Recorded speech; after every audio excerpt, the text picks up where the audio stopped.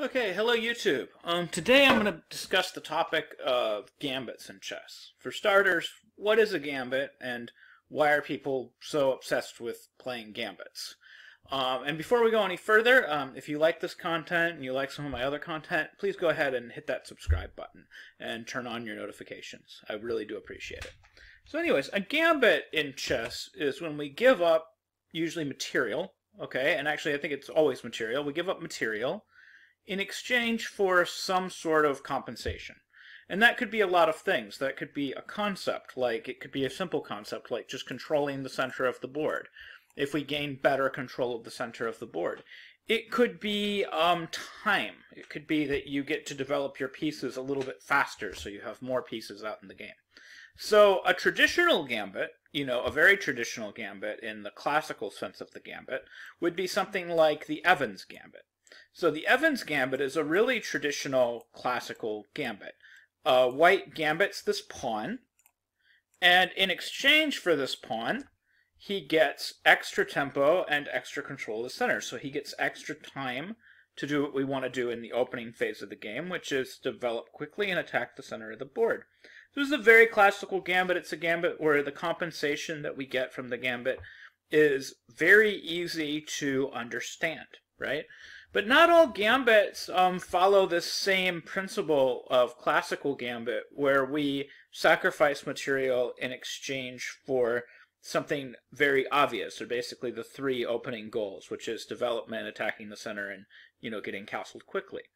Some gambits go after more abstract concepts. Um, one modern gambit is um, a gambit that's known as the Benko gambit.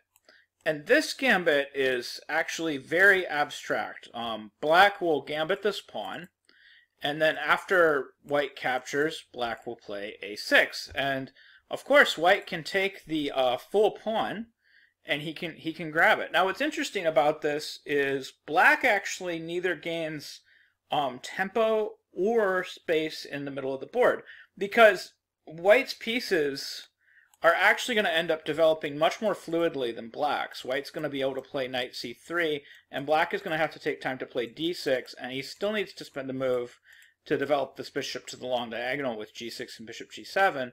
White's actually going to develop faster, so black isn't really up any tempo, and white is going to end up with, um, you know, more space in the middle of the board. So from a traditional sense, what on earth could black be going for here? And of course, um, this gambit is going for something that's that's that involves a lot more modern understanding of, of chess. For one thing, black has fewer pawn islands, um, which means that basically black has this amazingly compact pawn structure of just one island, which means that these pawns are better at defending each other. These pawns can defend each other more than White's pawns because White's pawns are separated into two separate islands. So we have one island of pawns here, and these pawns can defend each other very well. But then we have one island here that's all off on its own, and these two pawns are going to have a very difficult time defending each other. They can only each defend each other collectively once. Whereas these pawns have buddies next to it, where, like, say, the f pawn, for example, could be defended twice if necessary. So having fewer pawn islands makes your pawns a little bit stronger. So black has fewer pawns, but the pawns that he does have are very strong because he has a better island. And the weak pawns that white have happen to be located on this on these two open files that black will eventually put both of his rooks on and occupy and put pressure on this B and A pawn. And the theory goes that this should compensate black for being down a pawn, is these, these strategic ideas. So that's more of a modern gambit, as we gambit for um, strategic ideas, right? So we have classical gambits like the Evans gambit, or of course, you know, you have another classical kind of gambit like the King's gambit, where we gambit away this pawn but now we have two pawns in the middle of the board, so we have these central pawns in the middle of the board, and that's supposed to make a whole lot of sense. And then we have our, our modern kind of gambits, like, you know, the Benko gambit. And then, of course, you have your gambits that aren't really gambits, right? So you have, like, your pseudo gambits, right? So the Queen's gambit is when we play c4, and I guess it's kind of called the Queen's Gambit because it's similar to the King's Gambit. You know, in the King's Gambit we play e4 and f4, and since we started with our king pawn, we call that the King's Gambit. But the King's Gambit really is a gambit. It's actually very difficult to get that pawn back, whereas in the Queen's Gambit, this isn't actually a gambit. We call it a gambit, but it's very difficult for black to keep that pawn. Um, actually, white can get it back immediately with queen to a4 followed by queen takes c4. There's actually no really good way to hold it. So the queen's gambit isn't really even a gambit. The queen's gambit is kind of a pseudo uh, kind of gambit. And then, of course, there's other gambits that defy logic. Um, there's gambits that people play where they don't seem to get any clear advantage gambiting the pawn in center or in strategic play, but maybe they do it because maybe they're playing for some specific tricks. I always have kind of a hard time understanding these kinds of gambits because I, I just think not all gambits are necessarily um, sound, right? So one that I've always had a hard time with is the Smith-Morra gambit.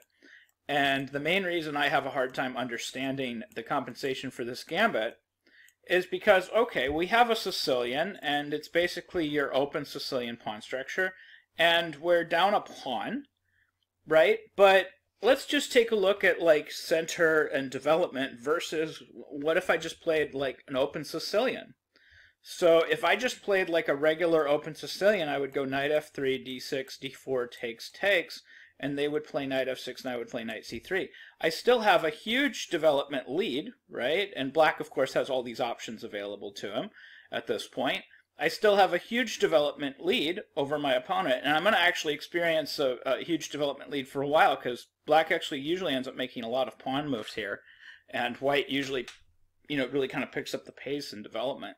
And this knight is going to be very aggressively posted on the d4 square. So let's go back to the Smith-Morra and let's just look at the difference just from a pure strategic point. Is after, say, d4, cd4, c3 here takes, this knight is going to end up going to f3, and I would have to two-step it to make it to d4. So we could actually end up with an identical position. But in this position, it's, it, it, all the tempos are the same. So we actually have an identical position here where it's still black's move. The only difference being is that this pawn has disappeared. So in theory, the tempos in the Smith-Morra gambit versus a regular open Sicilian are exactly the same. So the only way the Smith-Morra works is the Smith-Morra is making this argument, well, as long as I keep my knight on f3, I actually have an extra tempo. So in the Smith-Morra gambit, White is really trying to prove that just that one extra tempo that he's gaining for that pawn is worth it because he's going to utilize that knight, especially to help push this pawn, hopefully to the e5 square. And he's going to try to make certain tricks work, especially with like e5 in conjunction with bishop c4, and then sometimes there's uh, little kind of devilish tricks where you can, you know, potentially um, sometimes try to win the queen or something like this. So like you could play bishop c4, for example, and if black fell asleep at the wheel and played something like a6, like his regular Najdorf, you can push through with a move like e5, and then if they take, you've got this cute little trick here. So you're utilizing kind of this knight's position to support these, these pawn pushes to create these tricks. All that being said, I still don't really understand the Smith-Morra because in my heart of hearts, I just can't believe that one tempo is enough to give up a pawn. I feel like we need at least two, maybe three, or we need something really concrete, like some really cool strategic concept, like in the Benko, or we need like better center control. We need something that we can really sink our teeth into to say, hey, I really have compensation. So like I don't feel like all gambits are the same. I don't feel like every single gambit is sound. I feel like there's a lot of gambits that are sound. I feel like, you know, the Queen's Gambit is probably sound of well, I think the Queen's Gambit is very sound, of course. It's not probably sound, it's very sound. Um, it, it's not even a gambit. Um, I feel like, you know, the Evans Gambit, this classical gambit, I feel like it's very sound. I feel like you can play the Evans Gambit, and I think you do have compensation for this pawn. And I feel like some of the more classical gambits are very sound. And the Benko Gambit, I'm not sure actually about the Benko Gambit. Uh, truth be told, I, I lost a lot of sleep one time thinking about the Benko Gambit and thinking about, you know, how the compensation in the Benko Gambit actually works. And I'll tell you, I, I, I honestly don't know if it's um, worth the pawn or not worth the pawn. But black clearly has some kind of compensation for this pawn. Um, is it enough for the pawn? I don't know. And that's part of the fun of gambits. That's the appeal. You get to uh, put a question to your opponent. You get to make your opponent play your game where you understand where your pieces are supposed to go and you understand what the ideas are. And that's basically gambits. That's how gambits work in chess. Um, anyways, I hope you found this video helpful. I hope you learned something new about chess. And again, if you like this kind of content, please hit that subscribe button. Thank you very much for watching.